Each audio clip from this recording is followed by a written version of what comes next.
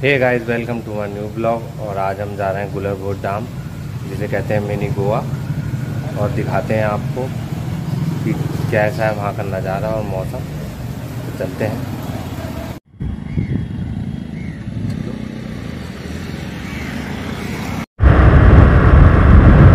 ये हम बाजपुर शहर में एंटर कर गए और ये है प्रेम ढाबा।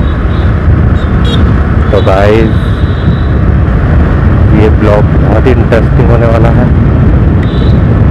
क्योंकि आपको पता है, गोवा तो आप लोगों में से बहुत लोग गए होंगे, हम भी गए हैं, पर हम उसमें ब्लॉग नहीं बनाते थे। तो आज देखते हैं, और देखते हैं क्या क्या वाटर स्पोर्ट्स करते हैं। तो देखते रहिए। हम बाइक लगाते हैं, और फिर मिलते हैं आपसे हो गया है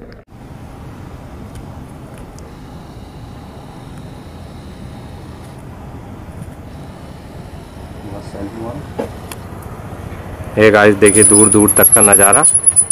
और ये है ऑफ़िस, और इधर है डैम के गेट।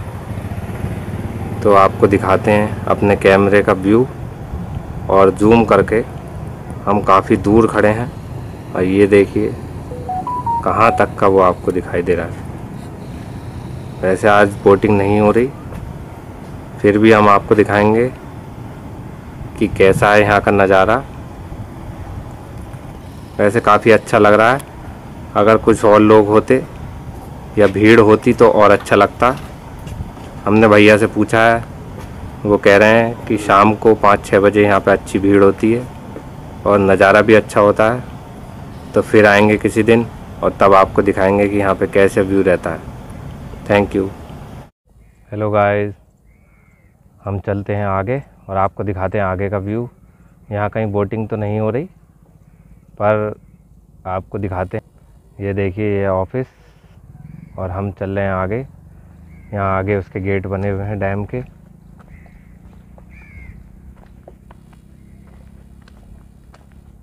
तो चलते हैं और दिखाते हैं आपको।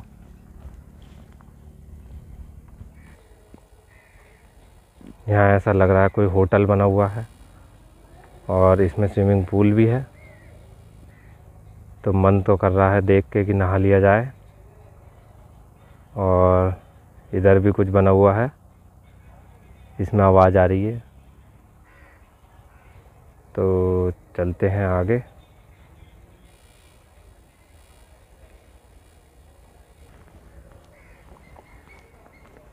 देख सकते हैं आप, यहाँ का ये कुछ पत्थरों की इन्होंने वो बना रखा है। ये पुराना डैम है। क्योंकि पहले मिट्टी का टीला टाइप बना के और उसके साइडों में पत्थर लगाए जाते थे। अब तो नई नई टेक्नोलॉजी से डैम बन रहे हैं। यहाँ कुछ स्पोर्ट्स के लिए भी दे रखी हैं चीज़ें। ये एक ट्रैकिंग के लिए बनाया हुआ है, पहाड़ जैसा उस पर चढ़ने के लिए। तो काफ़ी अच्छा व्यू है यहाँ का। आप आ सकते हैं अपने बच्चों के साथ घूमने और यहाँ की चीज़ों को एंजॉय कर सकते हैं। पर हमेशा ध्यान रखें आए शाम को ही, क्योंकि दिन में बहुत धूप होती है तो यहाँ पे ना तो कोई बोटिंग कर रहा है और ना कोई एन्जॉयमेंट है। तो इसलिए जब भी आएँ, पाँच छः बजे, चार बजे के बाद ही आएँ। चलते हैं आगे। हमारे ताऊ हाथ में लोटा लिए हुए चल रहे हैं। ये एक छोटी सी बोट है। ये देखिए, इसे सिंगल आदमी चला सकता है। पर सिंगल चला तो लो, डर तो बहुत लगता है। और ये मछलियों के लिए कुछ जाल लगा रखा है। और ये है बैराज का गेट। तो चलते हैं आगे और दिखाते हैं आपको बैराज का व्यू। यहाँ पे एक छोटा सा गार्डन बना रखा है, जिससे अच्छा लग रहा है। पेड़ पौधे हरियाली दिख रही हैं और ये है नारियल के पेड़।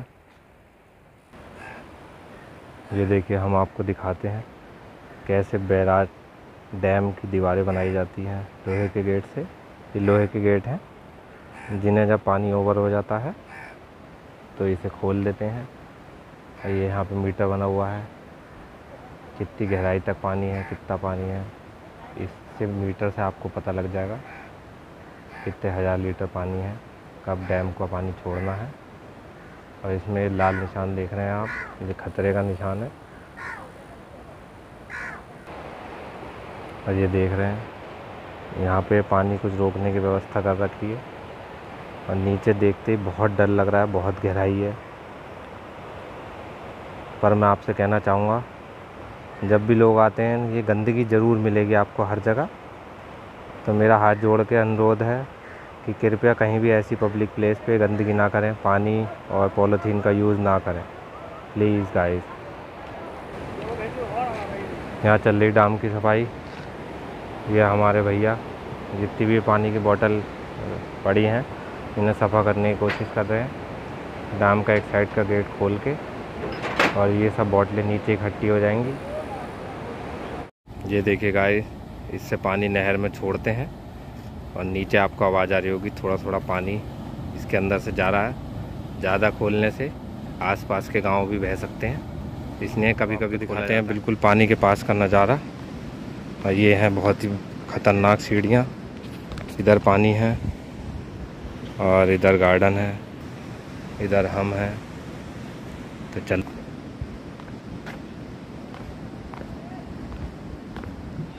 तो देखिए गाइस बहुत ही डर लग रहा है।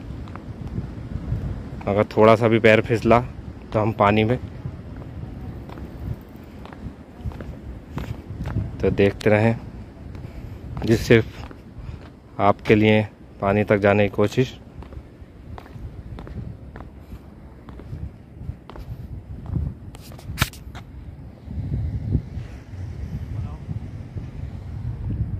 यहाँ बिल्कुल पानी के पास आ गए हैं।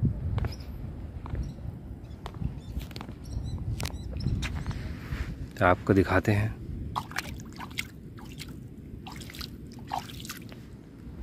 हो रही हैं। ये वाटर स्पोर्ट्स के लिए काफ़ी नाव हैं, खुद भी चला सकते हैं, कुछ बोट हैं, बड़ी जिनमें छः सात जने बैठ के और इनका चार्जेज हैं ढाई सौ रुपये दस मिनट के, आपको 10 मिनट तक दूर तक घुमा के लाएँगे। इनका पर पर्सन ढाई सौ रुपये चार्ज है।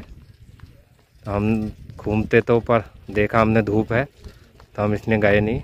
बहुत गर्मी हो रही है इसने जब भी आए, शाम को ही आएँ और यहाँ का आनंद लें। कुछ बोटें नई भी आई हैं, जिनका भी उद्घाटन नहीं हुआ। भैया कह रहे हैं, आजकल में चालू हो जाएँगे। यह है, टिकट काउंटर, यहाँ से टिकट ले सकते हैं आप। और नीचे जाके बोटिंग कर सकते हैं।